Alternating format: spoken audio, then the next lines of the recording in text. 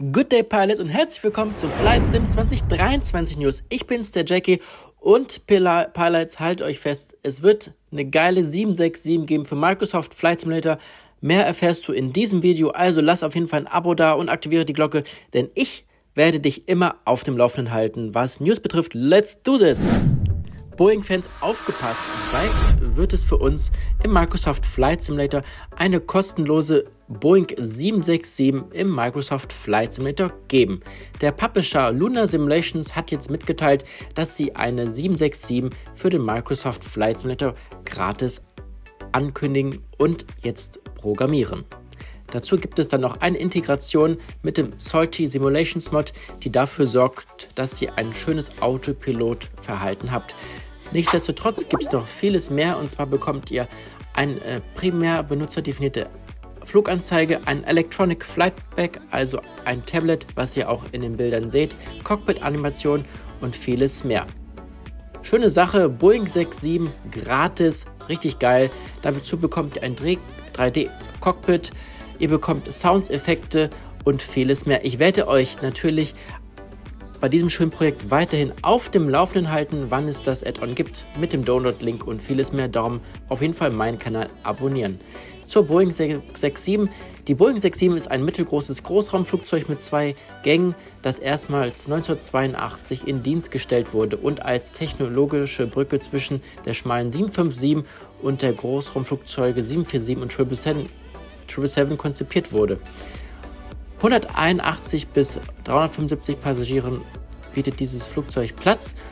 Viele Airlines setzen dieses Flugzeug zum Beispiel auch in Amerika für Inlandsflüge ein, aber natürlich ist die 767 auch bekannt für Langstreckenflüge, zum Beispiel äh, TUI Fly in, wo war das?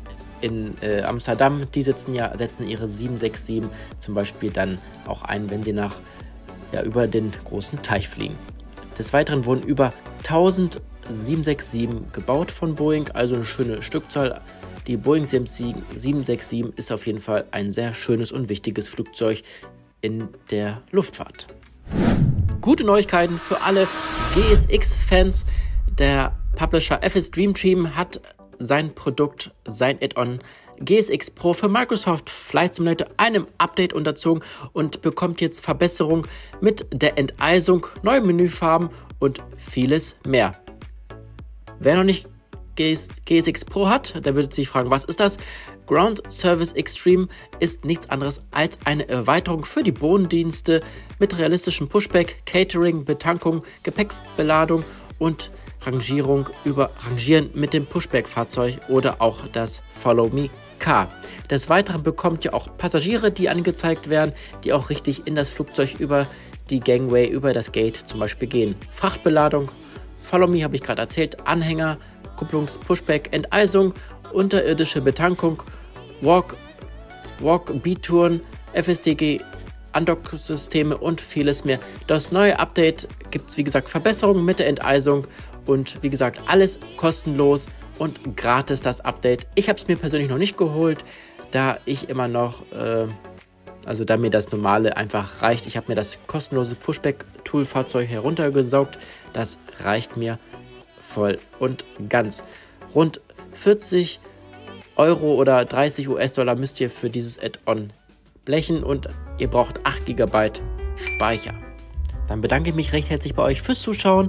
Wenn ihr noch mehr gute Tipps und Tutorials benötigt, auf der rechten Seite schaut euch die einfach mal an. Die werden euch auf jeden Fall helfen. In diesem Sinne, schönen Tag euch. Ciao, ciao.